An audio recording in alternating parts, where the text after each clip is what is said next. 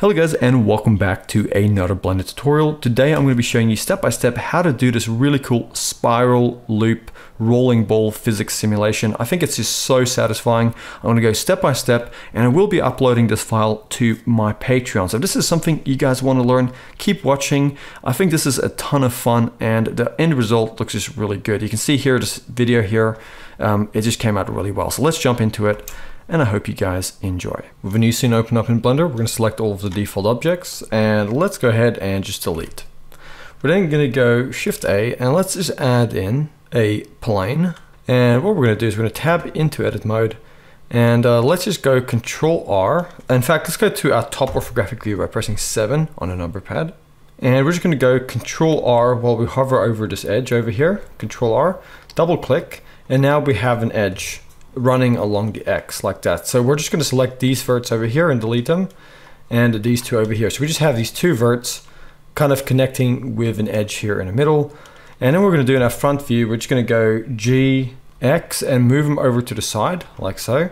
And then we're going to go over to our modifiers and let's go add modifier and let's give this the screw modifier. And let's come over here to the screw um, meter here. Let's just go and increase that value let's go with 2.3 meters for now. Let's just increase the iterations a few times. And you can make this as much as you want. But what I'm going to do is I'm going to set this to three iterations as that's all I want to work with. Um, what I'm going to do as well, I'm going to come here to the step viewport and let's just increase this because we are going to be applying this anyway, so we don't need to worry about the render. So you can make this as much as you want till it looks nice and smooth. I'm going to go with something like this. And at the moment, you know, we could do better than what this is. So let's go and while we're still in edit mode here, let's right click and let's go subdivide. And let's come here to the subdivision tab and let's bump it up to two for now. And let's grab these two verts in the middle and then go S to scale them up. And then we're just gonna press A to select everything and we're gonna go E to extrude and we're gonna go Z and extrude it up like so. And let's go Control R, add in a loop across here.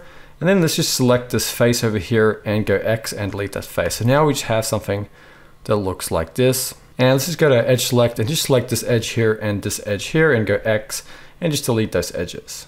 And also just these two edges here, let's just select them, go X and delete those edges. So all we have now is this shape over here. And you can select these two edges here, you can make them a little bit higher. Um, so the balls that are running down don't fall out. One thing we can do as well, let's go to our vertex select option. Let's just select these four verts over here, these two here and these two here. Let's right click and go subdivide. And then let's just select these two new verts in the middle and go G, Z and move them down. And let's go Control Shift B and bevel them like so. And then roll our middle mouse button to add in more segments. And now we have this nice kind of trench effect here. So we're going to tab back out into object mode and we're going to come down here and we're going to come to the screw modifier and we're just going to apply it. Then we're going to tab back into edit mode and with everything active we're going to go Alt N and we're going to go recalculate outside and now we fix some of those normal issues. Let's tab back out and let's go to our modifiers again and this time we're going to give it a bevel modifier and this is going to smooth things out and let's come here to the amount and let's make it, you can make whatever you want. You can increase the segments here but we want a nice smooth bevel on this. And then what you can do is you can go ahead and apply that like so. And now if you tab into edit mode, we have this. I'm going to come up here. We're going to go shift alt and just left click on this edge here to select the whole thing. At the top here, we're going to go F just to fill that. And then while it's still all active, we're going to go control B just to bevel. Give it a slight bevel and let's just give it a few segments like so and now that looks okay. We don't really have to do the bottom one, but you could if you wanted to. So there are a few things we can do to make this look even cooler. We can tab into edit mode and we're gonna go over here, go control R and add in a loop, which should spiral all the way down, just double click. And then come over here, control R, you can see a loop, double click. And then holding in shift and alt, click on this one that we made previously. So we have both of these selected, these spirals. And we're going to go Shift D to duplicate them, right click to let go, and then go P, and we're going to separate by selection, tab back out, and now if we click over here, we can see we have this thing over here. And what we're going to do is we're going to go press F3, and we're going to type in convert. We're going to convert to a curve, object convert to curve. And now if we go to, since this is now a curve object, we're going to go to our curve properties. And let's go over down to our geometry. And let's go down to the bevel amount here. And now we can increase this. And now we have this nice kind of thing happening here. You can tab into edit mode. You can select these things at any time. You can move them around. But you get the idea here. We're essentially making this nice bead that runs along here. And then you can right click and go shade smooth. So now we have that. Nice thing that looks cool. What I did with my original, I just added in some UV spheres that I just added some smooth shading to. And I just brought them up here and I scaled them down and just put them here towards the ends. So I just thought that looked kind of cool. It's just kind of a cool way of capping it off like so. And I'm just gonna put it over here, Shift D to duplicate it and put one over here on end. I think that just kind of looks cool. So now we have this spiraling tower modeled. Let's make sure to save as we go. I'm just gonna save this. And now what we're gonna do is we're gonna go Shift A, we're gonna add in a UV sphere, right click and go shade smooth. And let's take this guy up. Let's scale it down. And we need to make sure if we scale anything in object mode that we go Control A and we apply that scale because that's gonna matter with our physics. Let's go to a right orthographic view and let's just place it over here. We essentially just want it over this top part here. So when it falls, it can roll down here. It's pretty much common sense. So let's just go in to our top view. Let's go Shift D to duplicate. Let's tab into edit mode and then scale the mesh. And the reason we're doing that is so we don't affect the scaling. And then we're gonna tab back out and let's duplicate a few more of these little ones. And then let's um, duplicate it again, tab into edit mode. Let's make it even a little bit smaller by scaling. And let's duplicate a few of these ones like this. So we're just going ahead, making a whole bunch of these things. And you can make all sorts of different sizes. It's completely up to you how you want to approach this. So I'm going to make this one maybe that size, make one even smaller, and just randomly duplicate them. So you can make as many of these as you want. But you kind of get the idea here of what we're going for. Okay, so I'm just going to maybe duplicate a few more. The idea here is just to have these balls and they're all going to fall in here and roll down. So now what we're going to do is let's just select any one of these balls. Let's go over to our physics properties. Let's give this a rigid body. And we want to come here and make sure to make it mesh. And let's just leave everything else as it is. Like maybe the sensitivity. Let's go to the sensitivity and just make it 0.02. So the margin amount here, that's just the distance between um, the mesh here, how it's going to interact with this thing over here. But what we're going to do is while that main one is still active, we're just going to click and drag over all the other ones. You can see this is still the main active element and we're going to press F3. We're just going to type in copy and you're going to see an option here for copy from active and you can click on that. Now each one of these spheres or these balls here are going to have that exact same property. So now let's grab this thing over here and let's give that a rigid body. And this one we're going to make passive because it's not falling. And let's go to the shape here and let's make that mesh. And now if we go to frame one, which we should be on, we're going to hit the spacebar and let's see what that looks like. And you can see already we have our physics simulation running quite nicely. So what we're going to do before we run it any further, we're going to go to our scene properties for the, physics. Let's go to our rigid body world and let's make the speed two times as fast. And let's go to frame one again. Let's hit the spacebar and let's see what that looks like. So you can see it's all working really beautifully. So we now kind of are pretty much done with this. We're just gonna now make it look a little bit cooler and we're gonna cache things out. So let's go Shift A, let's add in a plane. Let's scale that way up and then go S, Y, scale it onto Y a little bit. Tab into edit mode and let's just select these two back verts and go E to extrude and Z. And then we're just gonna grab this edge here, go Control B to bevel it. You can do this however you want. I'm gonna go something like that, tab back out, Control A, apply that scale, right click and go shade smooth. Let's go to our front view. Oops, so, so if you go to your front orthographic view actually, this thing here should be like that. Okay, so I've messed that up a little bit. So I'm just gonna rotate it around like that. So in our front orthographic view, we wanna see this, so we're gonna go Shift A, Let's just add in a camera, move it up, and let's move it back to here. Let's go into a camera view by pressing zero on a number pad. So here we have this. Let's go to frame one. We can now see these spheres. So what I'm gonna do is I'm gonna go to my camera settings and make the focal length 90. And what I'm gonna do is I'm gonna go I, with my camera selected, I'm gonna press I and go location rotation to add in a keyframe on frame one. And then I'm just gonna hit my spacebar and play the simulation And I'm going to turn on auto keying and you can see I'm now on frame 24. And as I keep pausing and playing, what I'm going to do is I'm going to move around with these spheres. And what you might have to do at certain points is just rotate so you can actually see it. And because I've got the auto keying enabled here, it'll automatically do that. So I'm going to come back to 24. I'm going to rotate it down, move it up a little bit. You can do this however you want, but just make sure you, you play the animation.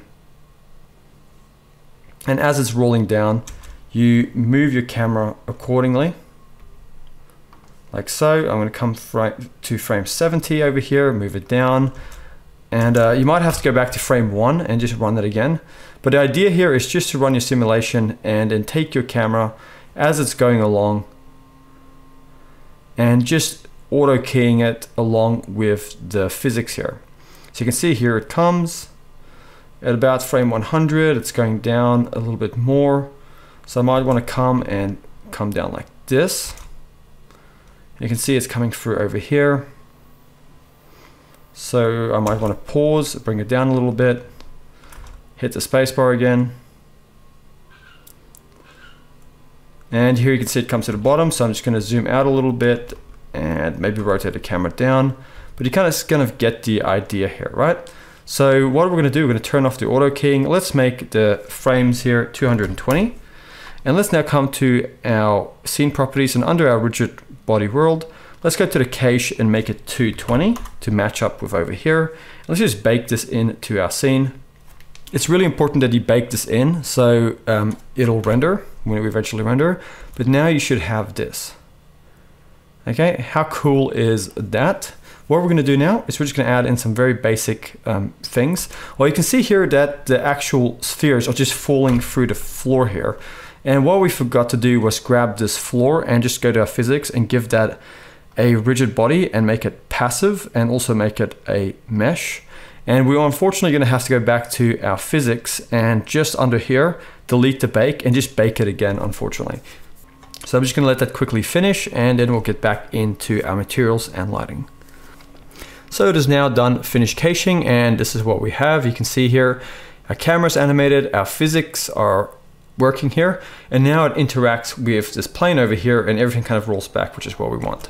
So now we're gonna go to our world settings. Let's give this a sky texture. And uh, let's also go to render and just make it cycles. Let's go to our render um, settings here. Let's make this render amount 50. You can set it higher if you want, but I have the denoiser enabled, so that's gonna work okay. And we're gonna go Control B while we're in camera view. Just drag over the camera to limit the render to the camera view. And now if we press Z and go rendered, and we go back to our world settings, we can see that sky texture we added is over here. But what we need to do is we need to actually go to the sun rotation and just rotate it till the lighting looks like what we want. I think that looks pretty cool. I'm just gonna come here to the strength and take it down to 0.4. And then what I'm gonna do is I'm gonna go Shift A, I'm just gonna add it in a light. So it's an area light, I'm gonna go G, Z, take it up, and I'm gonna increase the strength quite a bit, and then increase the size. And let's see what that looks like. I'm gonna go Z and go rendered. And this is up to you to determine how much or how little you want to do with your lighting. But I might even go back to my world settings and just make it even lighter on that sky texture. Okay, so now I'm going to take this and I'm going to bump it up even more. Maybe duplicate it, bring one in from this side over here, like that. And let's see what that looks like. Okay, that's looking pretty cool. So now what we need to do is just add our materials. So let's go and select our backdrop here. Let's go to our shading workspace, give it a new material. And then under the base color here, let's just drag that and type in checker and get the checker texture. And now we have that. You can mess around with the scale however you want, but this is what we have. And now you can press Z, go rendered, and you can see that. And now let's select this um, spirally thing over here. Let's just go new, give that a material. And I'm just gonna make this um, under the base color slightly less white and also make it a bit more reflective by bringing down the roughness. And then I'm gonna select these metal pole things over here, give them a new material, make them kind of darker and make them metallic. I'm gonna bring down the roughness and I'm also gonna select these two spheres here And I'm just going to give them that same material. So if you now go into rendered view, you can see this is what we have. And then all we have to do is select these spheres over here, again, all of them. Holding in shift, just select one of them and then give that a material. Let's just call it balls. And what we're gonna do, we're gonna go shift A, search and get an object, get an object info, and then plug the random into the base color. And then if we go shift A, search and type in color, we can get a color ramp and place it here. Let's change this to constant. And now we can take these tabs here and we can make them whatever colors we want. Okay, like this. Let's just go with two colors for now. And then we're gonna go control L and we're just gonna link all of those. So now all of these have that same material as this main active one. And if you now go into a camera view and we go Z and go rendered, all of them have this material and you can see it's just one material, but it's randomly um, adding color and we can add as many of these tabs as we want, changing the color, um, trying different things. This is completely up to you how you want to approach this, but um, maybe go for a nice lime green and it's pretty cool. Maybe a little bit less orange, drag this down. But you guys kind of get the idea here. And then let's just go and bring this roughness down. And there we have it. Now you can kind of just pause at a specific shot you can go to your render settings. Let's enable motion blur and let's save. And now let's go render and render image and see what this looks like. And there we have it. This is going to look really cool once you render it out as an animation. And the way you can do that is to go to your output settings, select a folder on your computer, then change the file format to video. And under the encoding, you can change it to MP4. Just make sure to save and then go render and then render animation and it'll render it out to your destination that you chose. So that has been this tutorial. I really hope you guys have enjoyed it. I'll be uploading this to Patreon and I will see you guys next time for another Blender tutorial.